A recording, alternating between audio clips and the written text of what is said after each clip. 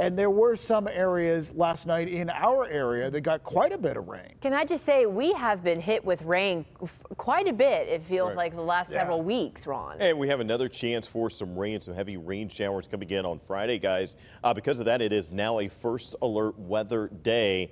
That rain could be here as soon as maybe even noon tomorrow. So Friday afternoon, it's really when it looks like the um, heaviest of the rain is going to get here at around 2, maybe as late as 3 o'clock. So those downpours could potentially lead to some flash flooding. Just like you said, Lindsay, we have already seen plenty of rain and with the extra rain that's on the way, some flash flooding certainly will be possible. We can't rule out some severe weather for tomorrow. I will just give you a heads up. Right now, the Storm Prediction Center does not have us shaded in for severe weather tomorrow. I think that that will change today. I think that we will be under at least a marginal risk. It's going to come from this system right here in the cold front. It's expected to arrive tomorrow.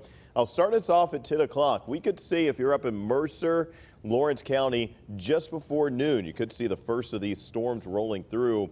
Heavy rain is going to be expected as we're heading into the afternoon. This puts it in Pittsburgh at around 2 o'clock. I think it could be maybe an hour or two faster than this. But as these showers and storms roll through very quickly behind this, we could see some flash flooding with just how saturated things are. All right, as we're heading into the late day of Friday, we'll get some breaks, but we will still have some rain showers around.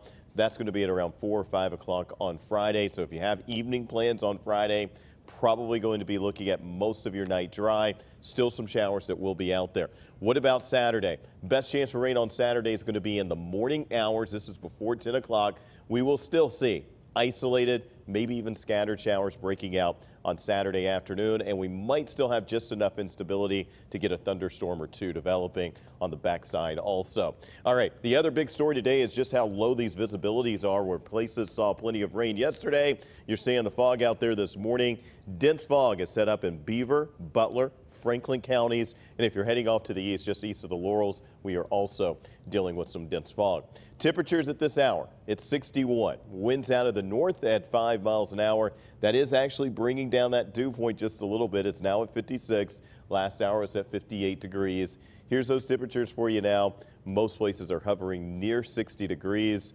Radar is dry. I will point out even today, while it's not a good chance, we do have an isolated rain chance for the afternoon. Most folks are going to be completely dry start to finish today. There's your forecast. 11 o'clock, 71. So our 10 o'clock temperature should be just shy of 70. Look at just how fast we warm up. 76 at 2 and 5 o'clock, your temperature at 79. There's the red on Friday. It's a first alert weather day. 72, the expected high. Saturday, expected high of 73. Rain chances are highest in the morning hours. A lot of dry time in the afternoon on Saturday. Can't rule out some rain on Sunday, but most of Sunday is looking dry, both Monday and Tuesday. We also are expecting dry conditions with temperatures up there near 80 degrees.